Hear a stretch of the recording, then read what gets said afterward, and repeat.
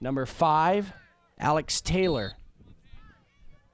Here's the kick towards the net, and we'll find the back of the net in between the keeper and the far post. And Alex Taylor will put the Magic Jacks up 1 0 here with just about four and a half minutes remaining in the first half. I play forward. Go Magic Jack. My number 12 and I play right D. Come on, come on, Jordan. Come on, let's go. I'm Jordan. I'm number seven. I play sweeper. Do it again. Do it again. I'm Jordan. I, I'm number seven. I play sweeper.